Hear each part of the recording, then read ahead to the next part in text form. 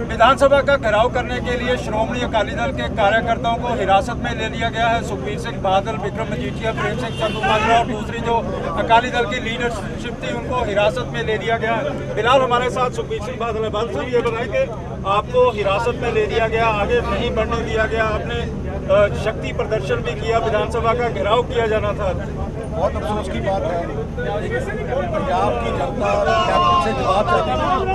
Captain ने खाकर अपनी सरकार बनाई और एक भी वादा पूरा नहीं किया। अब चार साल पूरे हो गए लास्ट बजट जो है और लास्ट बजट में हम साफ़ मांगना चाहते थे और ये पुलिस फोर्स यूज़ करके हमारी डेमोक्रेटिक तरीके से पीसफुल हम मार्च कर रहे थे उसको उन्होंने रोका और हमारे कैनन से अटैक किया और पुलिस ने लाठियों से सुखबीर जी विधानसभा के घेराव में आप क्या सरकार को बताना चाहते थे? जिस तरह से आज कांग्रेस ने भी एक घेराव रखा हुआ था पंजाब राजभवन मैं मैं हैरान हूँ कांग्रेस किसका घराव कर रही है?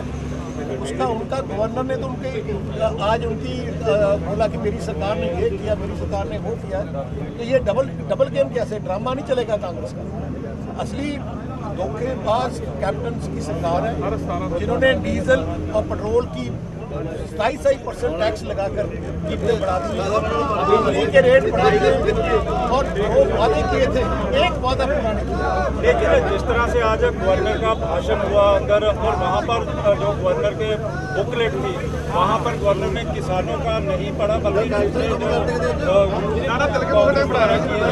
उनको पढ़ लिया गया और छब्बीस नंबर पैरे में कहा गया कि जो तीन बिल पास किए गए थे पंजाब विधानसभा द्वारा वो राष्ट्रपति के पास पड़े हुए हैं।